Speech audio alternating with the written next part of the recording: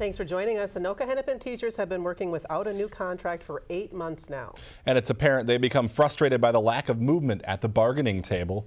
On Monday night, hundreds of teachers dressed in red descended on the school board meeting. CTN Steve Antis has more on the rally and the latest on negotiations.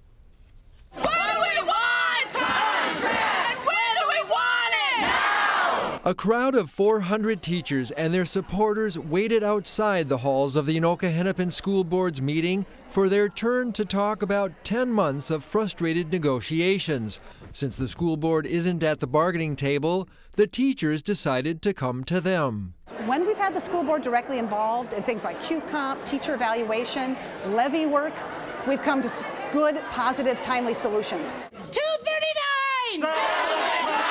As of Monday, members of the Anoka Hennepin Education Minnesota Teachers Union had worked 239 days without a contract.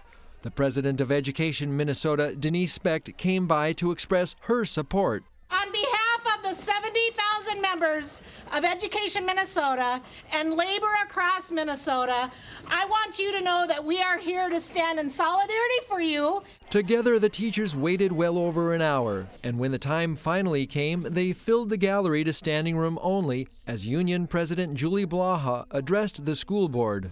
It's time. Our contract is 239 days overdue.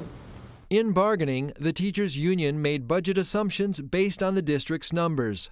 Then we double checked to make sure your plans would work. They did.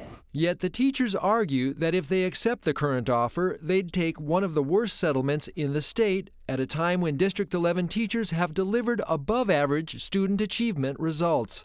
It's time for serious offers that make real progress toward a settlement. It's time to budget in a way that puts people before fund balances. It's time to recognize the significant progress we are making for our students. We are doing our part. It's time for you to do yours. District officials say reaching a settlement with teachers is a top priority, and they hope it happens sooner than later. I know the board remains committed to reaching a settlement, and in doing that, to reach a settlement that uh, is fiscally responsible. Now, both sides met in their third mediation session Thursday, and we are told they actually made good progress, enough that teachers are suspending work to rule immediately and are no longer planning to discuss a possible strike vote next week. Another mediation session is planned over spring break. Stephen Karen, it's really significant change here in this uh, negotiation. All right. Well, let's hope both sides can come together sooner than later. Thank you, Steve. Thanks.